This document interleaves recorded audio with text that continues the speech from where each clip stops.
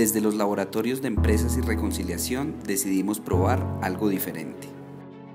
Una mañana nos reunimos en una finca del municipio Gómez Plata donde empieza el cañón del río Porce.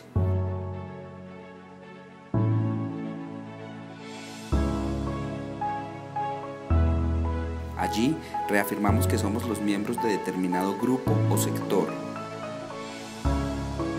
Pero también tenemos otras historias e intereses que nos unen. Estamos.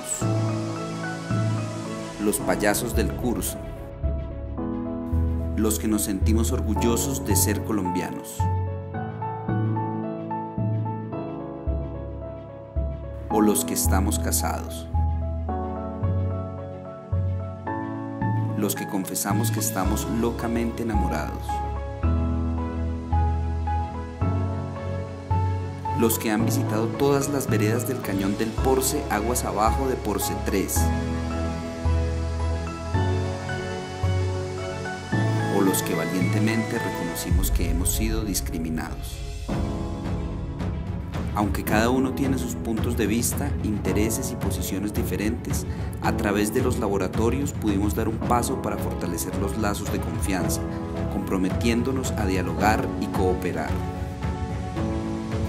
Sabemos que así ayudaremos a que las tensiones y conflictos se transformen en oportunidades de reconciliación que nos beneficien a todos.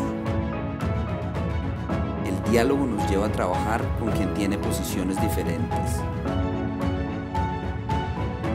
a enriquecer y cuestionar nuestra propia posición al escuchar al otro,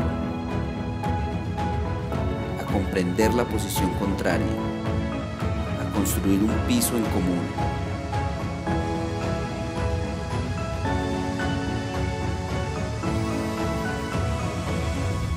Y a elaborar un relato para compartir.